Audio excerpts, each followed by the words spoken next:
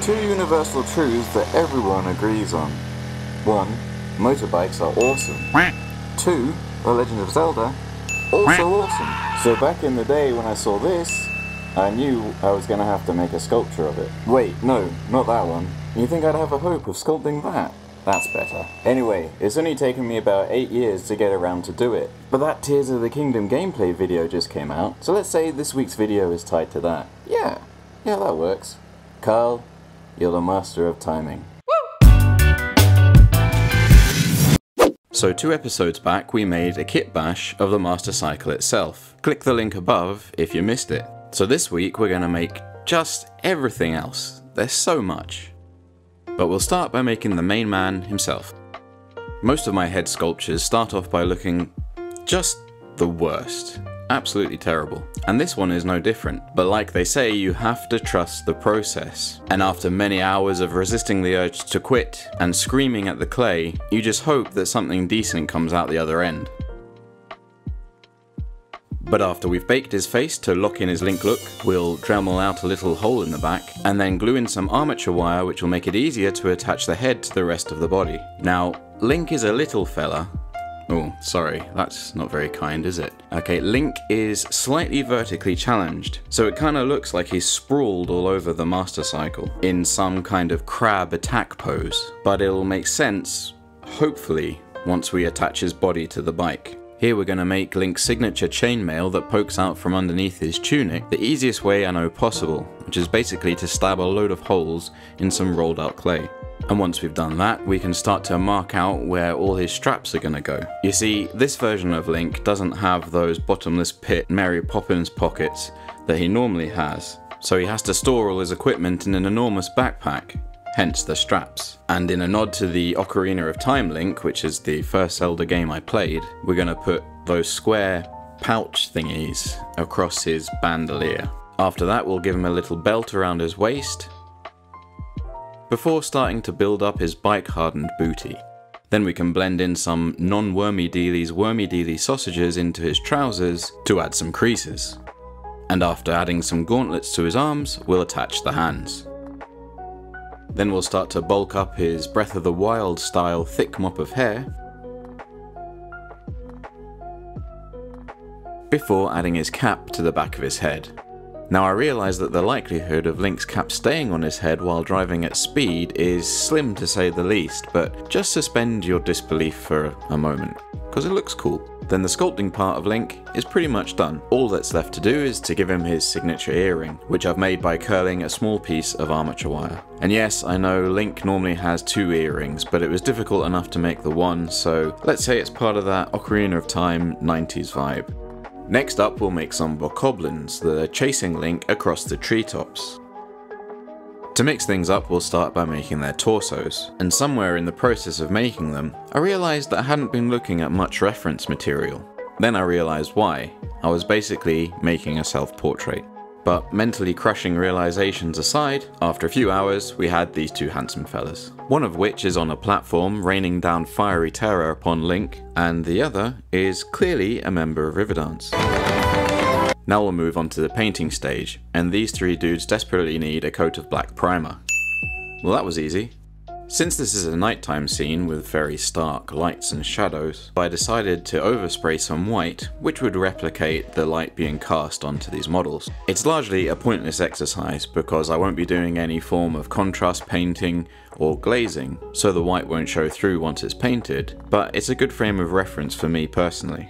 Next we'll start laying on the base colours. Firing Arrow Dude will be your standard reddish brown bokoblin colour, while Irish Jig Guy will be kind of a grey bluish green. After having dry brushed on some lighter shades to emphasise their wrinkly bits, we can use various shades of pinks and purples to colour up their mouths, before going back over their very British smiles with some ivory paint on their teeth. Then using more different shades of pink, yellow and white, we can build up their freakish glowing eyes, which incidentally is also very British. Then we'll seal those eyes in with a shiny coat of UV resin, and the camera will decide it wants to give you a focused in glamour shot of his bow just about here. But I feel at this stage that Riverdance Guy needs more fluff in his life. So we'll coat his sash thing in a layer of PVA glue, and then using this browny grey flocking I had to hand, we'll give him a layer of static grass, or in this case, fur. Then, just to take his grossness to the next level, let's give him some sweaty paintbrush bristle armpit hair. Man, the sentences that come out of my mouth to make these videos, it's ridiculous. But his armpit hairs are looking a little bit too free and flowing, so we'll trim them down before giving them a brown wash to blend them in. Then finally he'll get some black animal dots added to his sash. Thankfully we can now move on to painting Link in his classic green, before painting his backpack in a light tan colour. We can then darken it a bit and emphasise all the recesses and creases using a brown contrast, and then go back over it with a dry brush of the same light tan.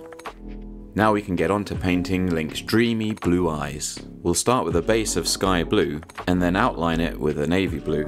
We'll use the same navy blue to simulate a bit of contrast and depth in the top part of his eye, touch up the bottom half with a slightly lighter blue again, and then paint in the pupils. Finally, I'll add a little white dot to suggest light reflection. A lot of people skip this step because when they put UV resin over the eye, the glossiness of the resin gives it that kind of light reflection, but I like to bake the effect in before putting the UV resin on. To me, it just brings the eyes a bit more to life. Speaking of airbrushing effects in, we'll now go ahead and airbrush some light blue and white paint onto the side of the backpack just where this hole is. Why am I doing that? Well, off camera, I made this fairy jar with a blue LED installed, and the blue paint will hopefully give the idea that light is coming out the fairy and bouncing onto the backpack. Now I did make a whole fairy out of translucent clay and put it into resin which became the jar, the whole shebang, but at the end of the day you couldn't really see the fairy too well through the resin so you'll have to take my word for it. You can sleep easy at night knowing that it's there. Now at the moment, Paul Link has some nasty looking LED wires coming out of his backpack and worse still, coming out of his butt. But fear not, because when we sit him on his motorbike, that will cover up his dangling wire issue, and the rest of the wires will be covered up nicely by this sword and scabbard. And with that out of the way, we can turn our attention to the base. Now I picked up this piece of wood from a local wood turning guy, and it'll make a perfect base of the base, but it's going to have a bunch of LED wiring going through it, so we'll need to gut it first. There we go, one slab of wood with all its innards taken out.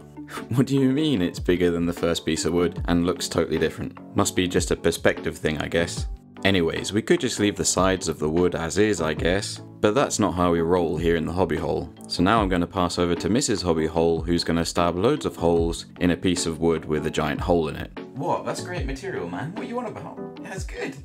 Oh, I can only apologise. Oh well, at least you don't have to live with it every day. And that totally was two separate bits of wood, by the way. He just forgot to show the larger piece before cutting that ginormous hole in it. Okay, so we're going to start out by marking out the design in pencil using this pair of compasses. I'm going to try to mirror the Aztec light pattern from Tears of the Kingdom. Once I'm happy with the pattern, I'm going to go over it again with a pyrography pen. And I can totally see why Carla's asked me to do this because it's taken me forever. I don't know about that. I just see it as me giving you a platform to express your creativity. Ow! Anyway, next up we'll cut some XPS foam to fit over the top of that wood, and we can start to draw out in position where we want things to go. And once everything's positioned basically in the place that we want them to be, we can start to carve out more of that road using a soldering iron. And safety warning, please always use a mask when burning foam. It gives off some nasty fumes. Now we'll figure out where we want to position our fairy lights, which will later become flaming arrows. And once we're happy with the position, we can cut out the foam and sink them into place. Then we'll blend in the tea lights with the rest of the base using some air dry clay, and whilst we're there we can use some more clay to fill in any gaps and round the base off as a whole. Once that's dry, we can slap on with careless abandon my patent pending ground mix, which consists of sand and small rocks from the beach, brown acrylic paint, wall filler, and PVA glue. How do you know when it's the right consistency? When it tastes good just like that, you know it's just right. And before you say, yes, that was just a joke, I'd never recommend eating sand and wool filler without at least putting a lot of sugar in it first. But seriously, don't ever eat any of your materials. I feel like I shouldn't have to say that and that it's a given, but just in case. Once it's semi-dry and looking like this, we can start to pat it down and shape it a bit more using a sponge. We can also add some other details, like horsehoof prints using this little horsehoof print tool, as well as some human footprints using this silicone shaping tool. Next we'll bust out the airbrush and give the road a good overspraying of burnt umber, after which we'll add some highlights using some light brown. And while that's drying, as a side build, we'll make a skull chest out of Breath of the Wild. We'll sketch out the basic shape on a block of XPS foam, and then cut and sand it into shape, making sure, again, to wear a mask whilst sanding.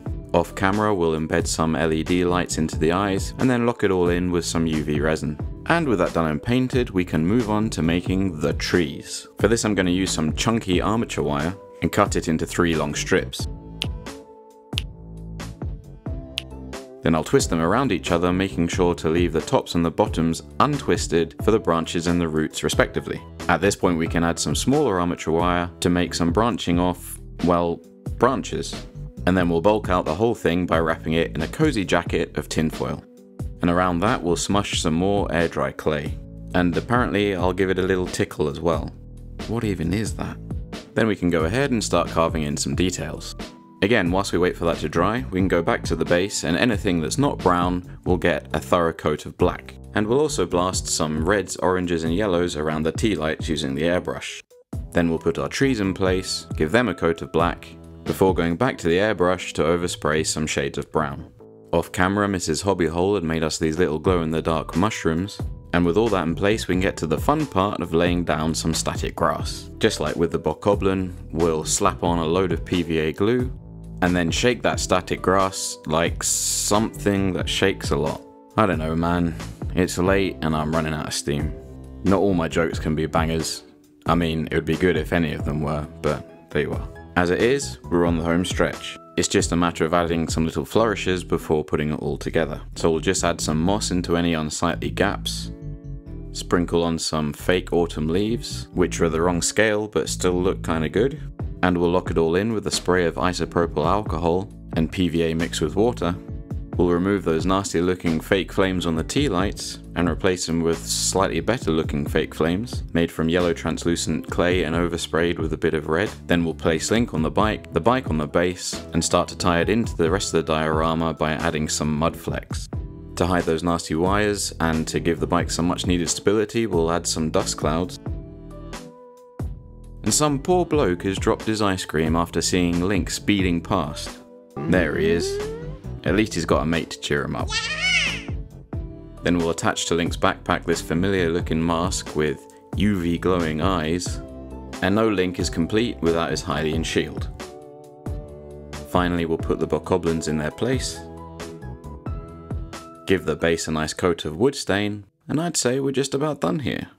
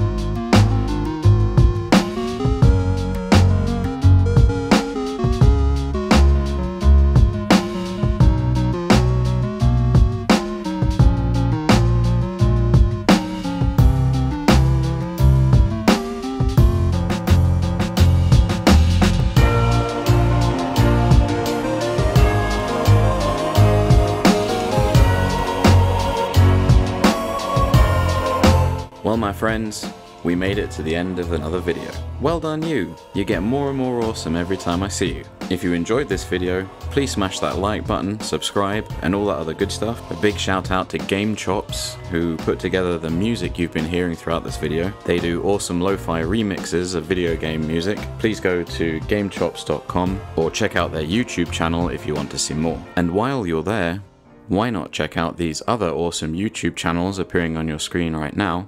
They create some awesome stuff and are truly an inspiration. I'm going to aim to have another video out much sooner than it took me to do this one, so please look forward to that. I think I'm going to do something Mario related. I can't think why. I think there's something happening this month, but I can't remember. But until the next one, cheers and have a good one.